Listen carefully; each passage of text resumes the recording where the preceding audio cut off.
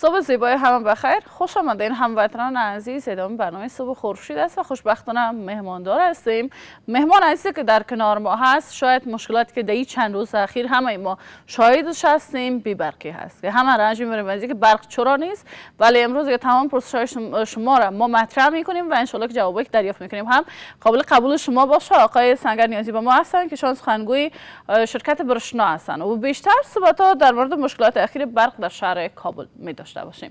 سلام آقای نیازی صبح بخیر. خوش آمدید. سلام بر شما و بیننده های تلویزیون خورشید و درود میفرستم به شهدای حادثه دیروز در مکتب سیدال شهدا همچنان برای زخمیان شفای عاجل می‌خواهیم و با بازماندگان شهدا صبر جمیل ما در خدمت هستم در مورد پرسش خب برق یگانه مشکل عمده است و همه می‌دانیم که اگر برق نباشه زندگی کردن مشکل است و می‌خوایم در مورد برق بیشتر از شما بشنویم مشکلاتی که هست حالا تا چند روز که حل خواهد شد. اول این می‌خوایم بشنویم که ترمیمش چقدر مدت زمان را در بر خواهد گرفت. بعدا میم بالای پرسش های دیگه که هست انشالله مطرح خواهیم کرد. طوری که هموطنان ما آگاهی دارن روز جمعه حوالی ساعت 4 و 45 دقیقه صبح دو پایه دو پایه برق وارداتی ولتاژ بلند در ساحه میرزاخیل ولسوالی کلکان ولایت کابل توسط دشمنان مردم افغانستان توسط دشمنان روشنایی منهدم گردیدند و یک پایه دیگه قسما تخریب گردید. تیم تکنیکی در افغانستان برشنا شرکت بدون معطلی به ساحه رسیدن و بعد از اینکه ساحه از وجود ماین ها پاکسازی شد یا کار خود را آغاز کردند. بعد از دو ساعت از حادثه یا تانستند که 70 میگاوات برق را به شهر کابل تمدید نماید. دیروز سعی صورت گرفت که این مقدار به 150 میگاوات بلند بره تا مشکلات تا حد مشکلات شهران کابل حل گردد. ولی متاسفانه دیروز نتانستیم و امروز تیم تکنیکی ما سعی میورزد تا امی 70 میگاوات برق را به 150 میگاوات برسه. و همچنان تصمیم بر این است که 60 میگاوات برق از سبستیشن ترخیل که او برق حرارتی است از او او برق شامل شبکه کابل شود و در مجموع هدایت رهبری افغانستان برشنا شرکت به مسئولین ساحات که در او برق توضیح میشه و در کل دسپچری یک اداره است که برق را به ساحات مختلف تنظیم می‌کنه که به شهریان ما برق به صورت متوازن و نوبتوار و تمدید نماید و همچنان در خصوصا در اوقات افتار و سحری باید مردم ما دارای برق باشد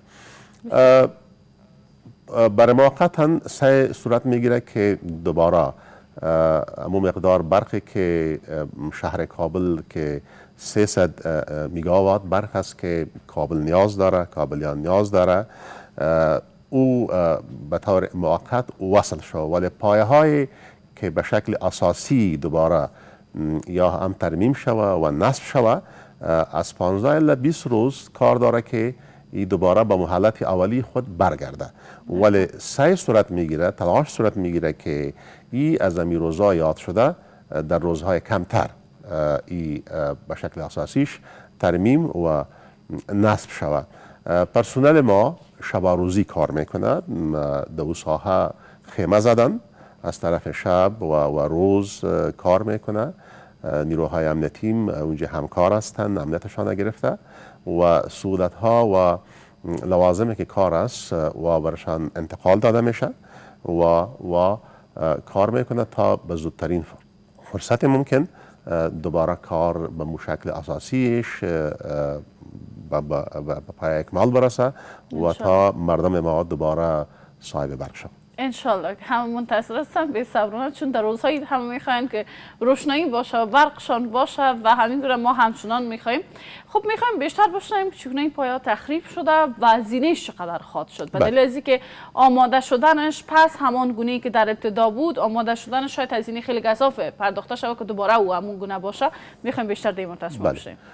شما می‌دانید که ما در حالت جنگ قرار داریم و دشمنان مردم افغانستان از هر فرصت استفاده می‌کنه تا برای مردم ما اسیب برسانه در حالی که برق یک سرمایه ملی است و نگهداری از او وجیبه هر کدام ماست که همراه نیروهای امنیتی همچنان با شرکت برشنا در کل با مردم خود و دولت خود همکار باشیم.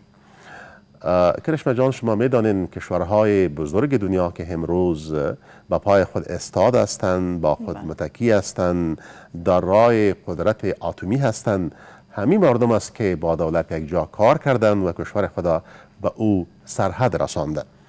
ما از مردم خود تقاضا داریم. بار بار ای را گفتیم که مردم ما باید با دولت همکار باشند. مالیه بپردازن تکس بپردازن پول صرفه برق خود را با وقت و زمان تحویل بانک کنه. ما شما می‌فهمین که ما از 75 الا 80 فیصد برق وارداتی داریم و این را در بدل پول می‌خریم و دوباره به شکل سایبسایدی برای هموطان خود ای برق میتیم. بنابراین اگر یا با وقت و زمانش شمو صرفیه پول صرفیه برق خود بپردازه ما می‌تونیم که در آخر هر ماه به کشوری که از او برق می‌خریم و پول برش برسانیم و از جریمه تاخیر نجات پیدا بکنیم. ای از وجایب و مکلفیت های هموطنان ماست. در, در برابرش وظیفه و وجیبه ما ای است که ما برشان برق دوامدار و برق مطمئن و برق ارزان برشان برسانیم. این تعهد رهبری جدید در افغانستان برشناست که هر هموطن ما باید به به برق دسترسی داشته باشه. چون برق در شرایط کنونی در عصر کنونی از نیازمندی های اولیه است و هر افغان حق داره که برق داشته باشد بله این پایه هایی که به روز جمعه توسط دشمنان روشنایی منهدم گردید هزینهش بالغ به 200 هزار دلار آمریکایی است که شرکت برشنا و در کل مردم افغانستان متضرر گردید. و این نیازمندی داره که دوباره به مشکل اساسیش پایه ها استاد شوه و, و, و ترمیم شوه وسایل جدید خریده شوه. چون ما از ساحه نزدیک دیدن کردیم رفتم که پایه ها کاملا به شکل کاملا منهدم شده دو پایه ولی پایه دیگه قسما امی هزینه را برمیداره که تا دوباره شهریان ما کابلیان ما صاحب امو برخ 300 میگاوات که نیازمندی شهریان است صاحب از او برق شود انشالله کارتون من پس دوباره همه صاحب شون خب واقعا نیازی می‌خواد در مورد از هم بیشتر شما باشیم که خدای نخواسته از هموطنان ما کسی آسیب ندیدن و در این مورد هم میشه شما بگوین در ضمن از یک لیست مخروزین که سال گذشته شما البته شیر کردین یا هم همه دیدن که یک لیست خیلی دور به بود. یک چیزی خیلی عمده که دیگه اواخر گفتم میشه قبلا بود دو ماه بعد بل برق میامد اما حالا مای در ماه هست. می‌خوایم در این مورد هم بیشتر شما بله. خوشبختانه در این حادثه به کسی اسیب نرسیده چون صبح وقت بوده. در ساحه کسی نبود.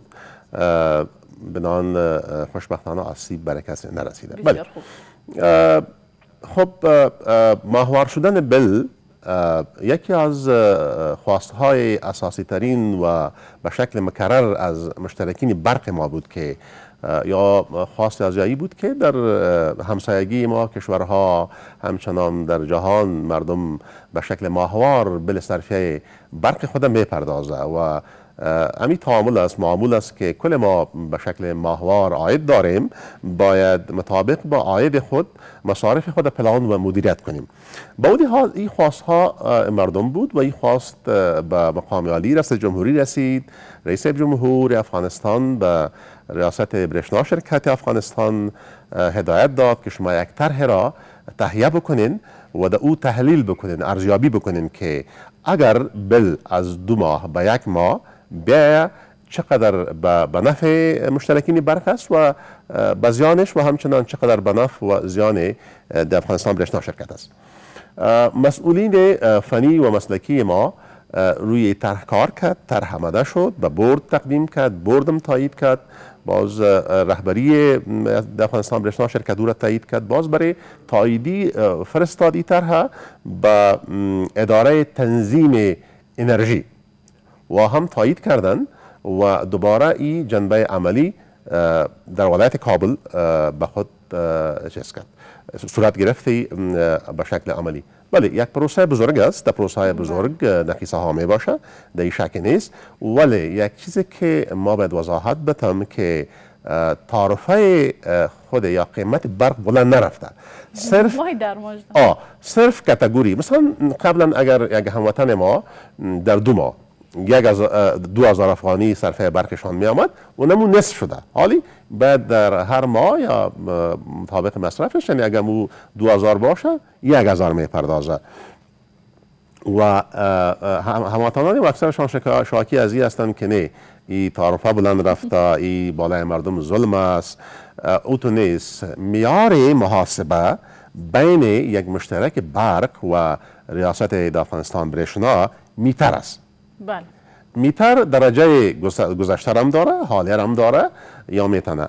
به خاطر از اینکه پروسه جدید است مردم شاکی هستند چون در پروسه های بزرگ مردم برداشت های مختلف می داشته باشه. حالا مردم با برداشت های مختلف داره. البته در کل تو نیست که تمام مشترکین برق شاکی هستند که از تمامشان در, در بل ماهوار مصارفشان بالا کسانی هستند که بسیار تقلیل یافته. پایان آمده مصارفشان ولی ما به خاطر از که به شکایت مردم رسیدگی کرده باشیم به سطح ولایت کابل چهار مرکز خدمات مشتریان داریم.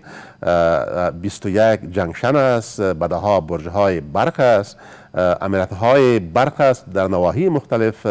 هموطنان ما می‌تونه که با مراجعه به این مراکز امو مشکلات خود هم ما در اینجا افراد و اشخاص مسلکی را توضیف کردیم که هم آگاهی عامه بته برای مردم ما و هم مشکلات اگر از روی فنی و تکنیکی به وجود آمده باشد بلشان می‌تونه که او را برش مرفوع بسازه بله تا او سرحدی که مثلا اکثر هموطنان ما از وسایل کهنه برقی استفاده می‌کنه طبعا مصارفشان بالا میره. مثلا اگر از جاروب برقی استفاده می‌کنه ممکن او شارت باشه یا متوجه نیستن. به اون لحاظ مصرفشان از بیلر استفاده می‌کنه یا از وسایل دیگه آبگرمی استفاده بله، می‌کنه. بله. اگر این وسایل کنه باشه طبعا مصارفشان بالا میره. ولی توقعی است که هموطنان ما پیش از که به مشکلشان رسیدگی شوه و یا در مجموع خب شکایت و حل مشکل حقشان است. ما این کار می‌کنیم. باز ما یک کال سنتر داریم که شمارش هست 144 به این هم می‌تونه که هموطنان ما تماس بگیره مشکلات خود مطرح بکنه. موظفین است مشکلاتش می‌گیره. دوباره با اداره ادارات مربوطه او را شریک می‌سازه دوباره جوابش برشان میده. بسیار خوب.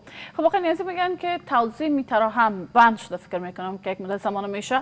دلیلش چی هست؟ آه یک سوال دیگه آه پیش از که به این سوال تان جواب بدم یک سوال دیگه تان یاد ما خب ما پای در پای سی سال اینجا ما مفروضی نگفتید بله.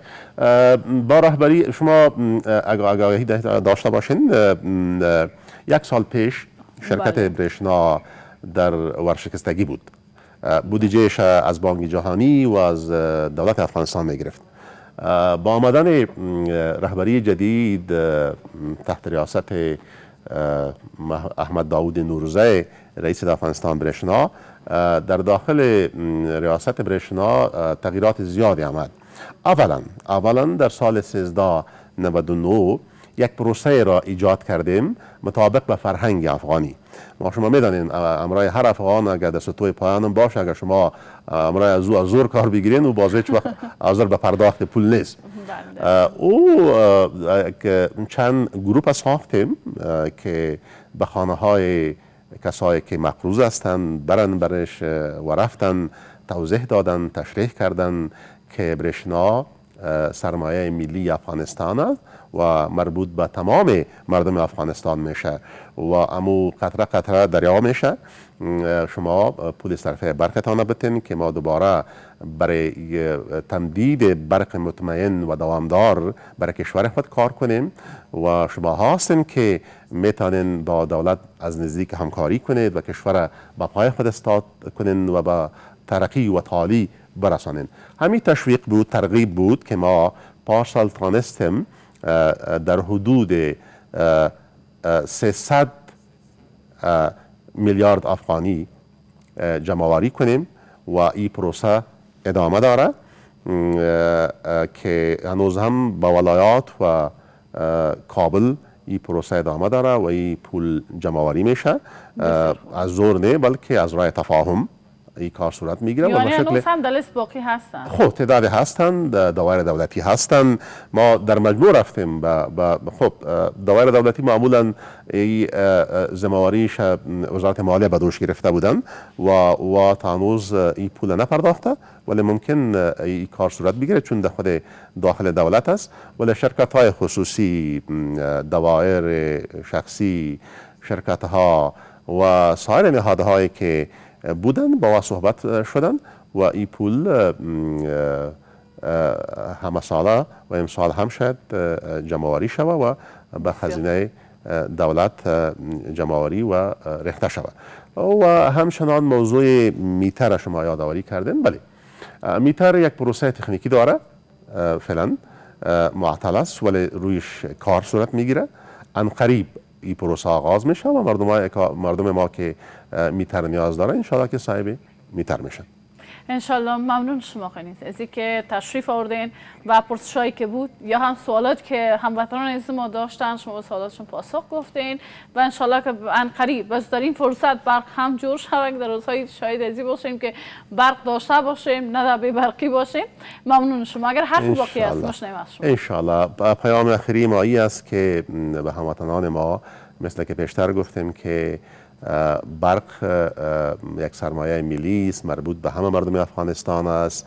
در نگهداری تاسیسات برق همکاری کند. همچنان در تحویلی صرفیه برق خود همکار باشند و در خانه های خود وقت بدون نیاز گروپ هاشان روشن نکنه بدون نیاز وسایل برقی خود روشن نمانه چون یا مانده شود هموطن پالی دیگه ما باز به برق میشه و او بر برق نیاز داره بنان از برق به شکل درسترش استفاده کنه. انشالله ممنون شما. سلامت. خب حیزای دل حالا هم یک وقفه کوتاه داریم دوباره برمیگردیم ما رو همراه باشین و تنها نگذاریم